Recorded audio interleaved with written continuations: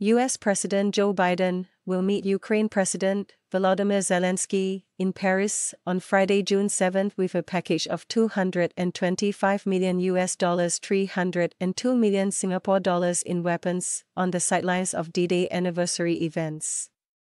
It will be their first face-to-face talks since Zelensky visited Washington in December, when the two wrestled with Republican opposition to more Ukraine aid. They will meet again next week at a G7 summit in Italy.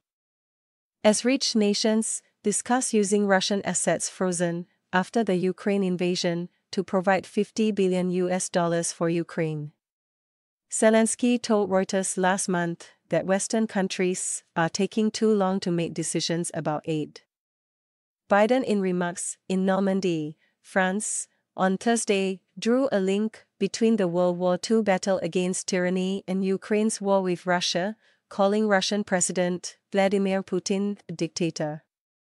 The 225 million US dollars in new weaponry includes artillery rounds and air defense interceptors, among other items, sources said. Ukraine has struggled to defend the Kharkiv region after an offensive launched by Moscow on May 10 has overrun some villages. Biden last week shifted his position and decided Ukraine could launch US supplied weapons at military targets inside Russia that are supporting the Kharkiv offensive. The United States is trying to catch up with Ukraine's weaponry needs.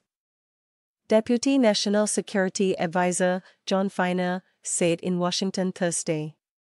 If there were two things that we could provide an infinite number of to the Ukrainians to try to turn the tide in this war, it would be artillery munitions and air defense interceptors, but the US lacks supply, Finer told a forum by the Center for a New American Security.